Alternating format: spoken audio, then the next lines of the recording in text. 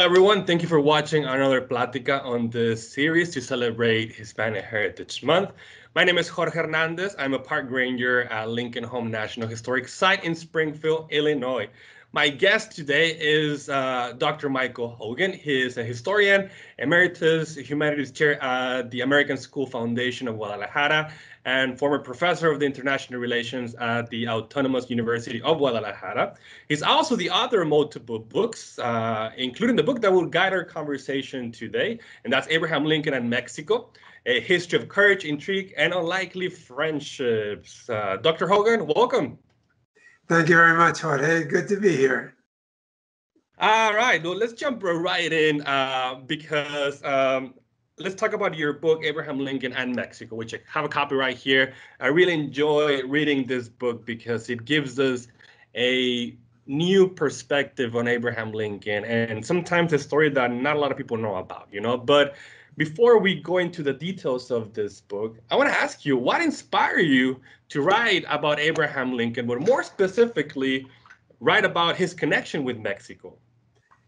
Thank you, Jorge. That's a good question. Um, you, you know, when I when I finally got this manuscript together, I sent it to a publisher, and he said, "Well, there's probably ten thousand books on Lincoln. What makes this one so special?" And I said, "No, no. There's actually thirty thousand books on Lincoln, but there's none about Lincoln and Mexico.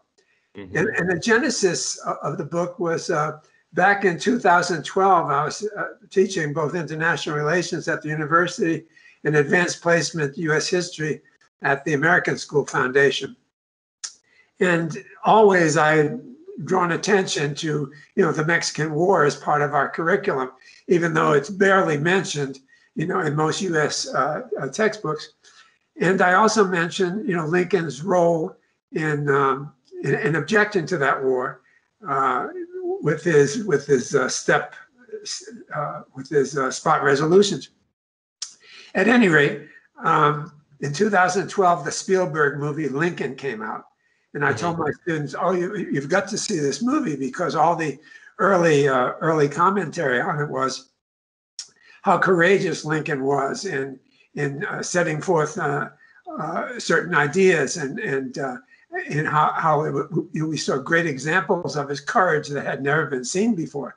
And I went, oh, never seen before. Well, that must be. He's going to talk about when he stood up in Congress and objected to the Mexican War. So I told uh-huh. him, you have to, you have to see this movie.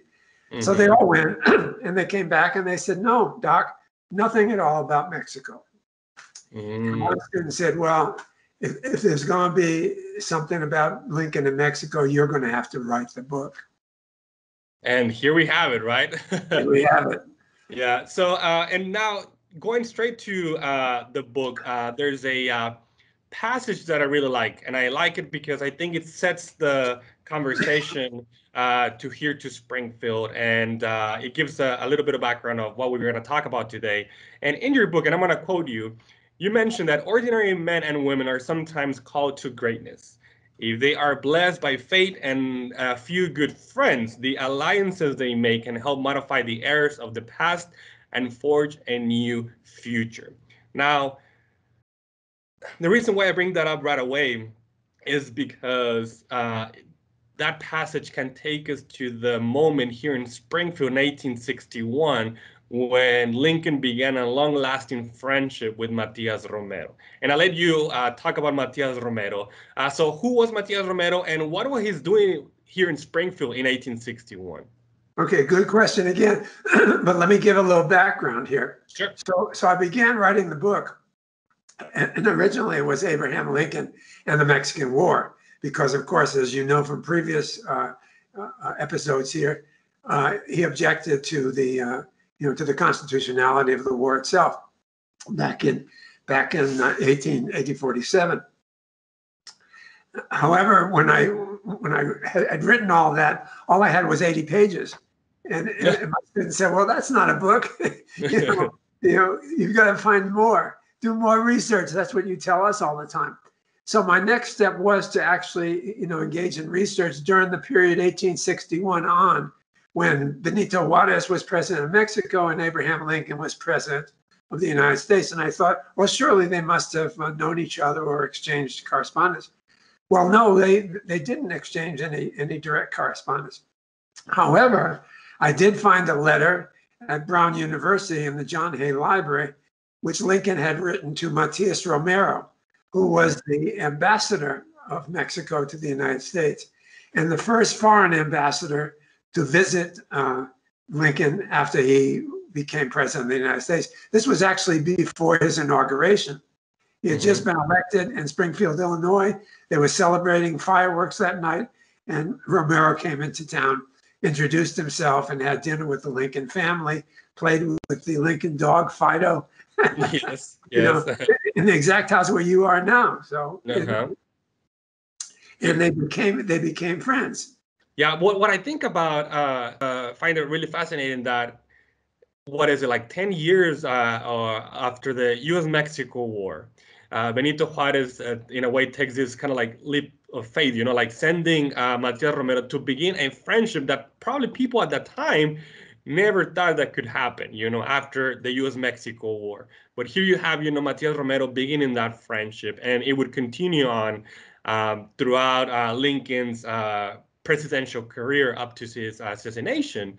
Uh, but also in your book, I mean, the reason why uh, Matias Romero is signed is because they want to begin this friendship because Mexico is pretty much fighting its own war across uh, uh, across the Rio Grande, pretty much. Well, by 1861, no, but by 1863, of course, the mm-hmm. French taking advantage, Napoleon III taking advantage of the fact that the U.S. is in a civil war, actually invades Mexico, and mm-hmm. uh, you know it, they impose uh, Maximilian as as uh, as emperor in in in Chapultepec Castle in Mexico City, forcing forcing um, uh, President Juarez into into exile essentially. Mm-hmm. So now Matias Romero goes back in 1863, but of course Lincoln is too busy with the war to really do much in terms of help. But one of the things he, you know Romero does, and he's very he's very clever, very witty, uh, he speaks French, he speaks English, he speaks Spanish. He he finds that Mrs. Lincoln loves to go shopping. Ah. and she can't get a carriage to go shopping, but he has a rented carriage. So he mm-hmm. takes her shopping for three hours.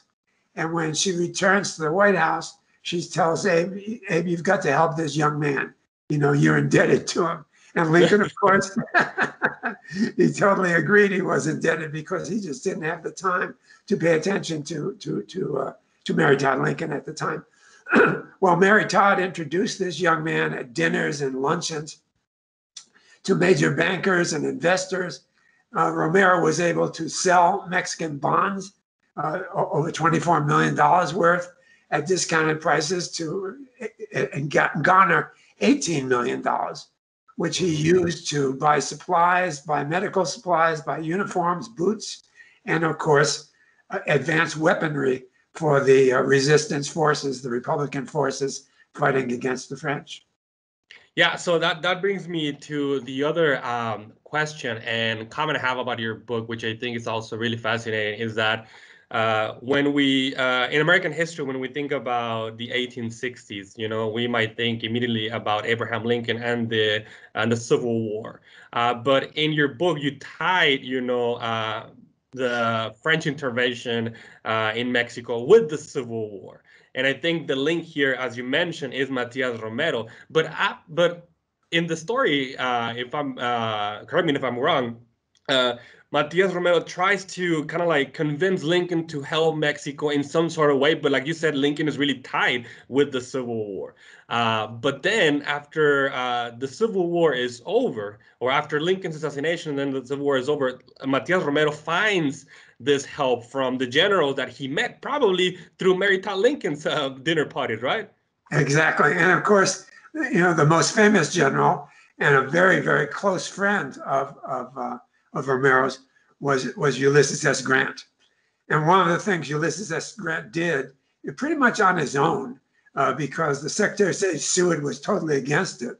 Pretty much on his own, he sent um, after the Appomattox courthouse surrender, he sent 50,000 U.S. troops to Texas to the border, mm-hmm. including 10,000 uh, black uh, you, you, know troops. And uh, on the way, he ordered uh, uh, General Sheridan to lose 30,000 rifles on the border so that the uh, mm-hmm. Mexicans could could uh, pick them up. Mm-hmm. Uh, also, this this movement, this troop movement, really impeded the the outflow of cotton and, and other supplies going going going abroad, which which of course cut the income to the Confederacy in half. It also prevented the influx of weapons coming into the area, and ultimately, you know, changed the course of the you know of, of the war between the French and the Mexicans. Yeah, no, it's uh, it's uh, it that, that that's the the key of the book. You know, uh, from your book, I believe. You know how uh, as your title suggests, you know, unlikely friendships, you know, and it all begins, you know, with uh, Matias Romero, you know, showing up here in Springfield in 1861 to congratulate uh, Lincoln and Benito Juarez. You know, Benito Juarez sent Matias Romero over here, and it's uh, in in your book you mentioned that.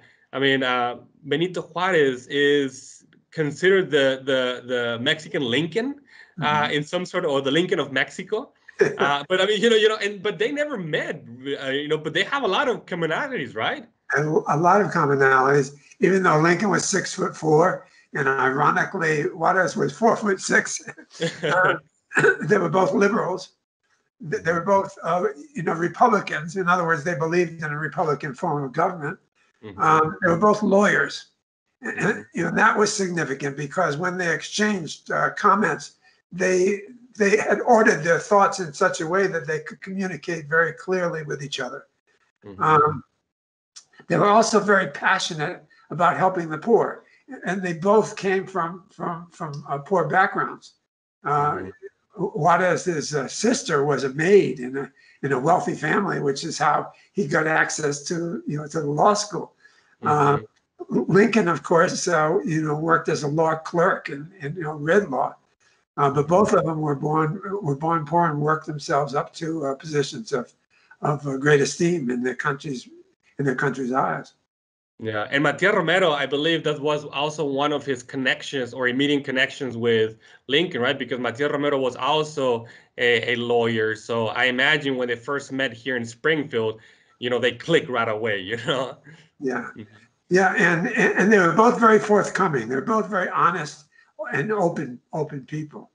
Mm-hmm. And and obviously they both had had had, had good senses of humor. yeah, I can just imagine the kind of conversation that happened here at the Lincoln home, you know, in the parlor or in the sitting room, you know, where the when the Lincolns uh, had uh, Matias Romero. Overall, I mean, we've been talking about this uh, uh, friendship, you know, and, and, and Lincoln and Mexico and how both histories connect, you know, in some sort of way here in Springfield. That's where that relationship began. Exactly. Uh, so, uh, what do you think that that what what do you think is the message, you know, from from that uh, initial conversation in 1861 at the home that we uh, have here in Springfield? Well, I think, as you said earlier, Jorge, this was a time 1861, when the memories of the invasion of Mexico by a U.S. Army were still very fresh in people's minds. The mm-hmm. resentment, the anger, the frustration that was felt by the Mexican people, the superior Anglo Saxon attitude that was felt by many, many Americans, these conflictive, uh, you know, uh, these conflictive attitudes. In spite of that, these two men got together in Springfield as human beings mm-hmm. and sat down and exchanged their views and came to a peaceful and profitable understanding that served both countries. And I think that's what we can learn from that. This is also a time of very conflictive behavior on both sides and the politics of both sides. And many, many people in, in Mexico feel some antipathy towards the, the American government, and many people in, in, in the US feel as anger towards immigrants and so on and so forth. But it's also a time when we can remember not only did Matias Romero sit down with Lincoln, but he sat down with Mary Todd. He sat down with, with uh, the common people as well. And it was these connections that enabled Mexico to overcome uh, the French, and of course, the U.S. to overcome uh, the Confederacy. Yeah, no, that's a that's a really good point. Uh, but uh, Dr. Uh, Michael Hogan, thank you so much for your time and for joining us uh, for uh, as we celebrate here at Lincoln Home the Hispanic Heritage Month. Uh, so we'll continue to read your book because it has really good information. Uh, but once again, thank you so much for joining in. Thank you, Jorge. Viva Mexico, viva Estados Unidos. And for everyone, uh, stay tuned for uh, more videos as we celebrate Hispanic Heritage Month at Lincoln Home. Thank you.